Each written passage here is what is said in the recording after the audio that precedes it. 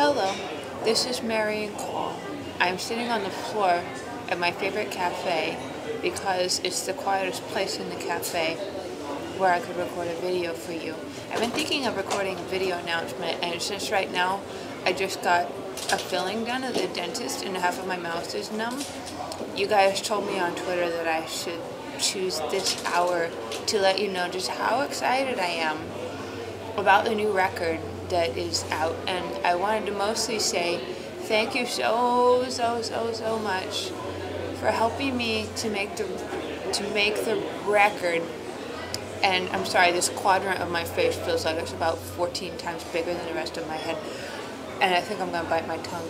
Um, thank you so so much for helping me to make the record, and thank you so much for pre-ordering it because since you guys pre-ordered it, even though it's not ready yet well, I want to send you the signed ones, so I'm going to go sit in Seattle and sign the uh, 500 CDs, which will be fun, um, with a party with good music and some beer. So I hope I don't misspell my name.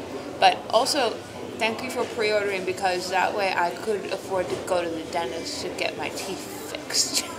you guys are awesome. Thank you very, very, very much. If you haven't got the record yet, that's okay, but I bet you're going to like it. I hope you're going to like it. Because every time I do a show and I do all those songs that you guys like the most, all your favorite ones, and you're like, can I buy that song today? And I'm like, no.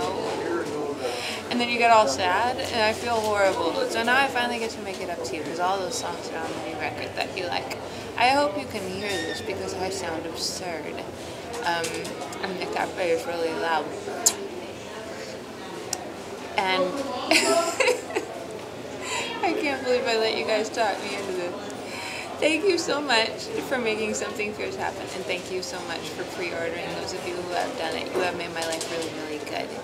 And I hope that you guys like it so much, especially the donor circle. Okay, can I go drink my coffee through a straw now?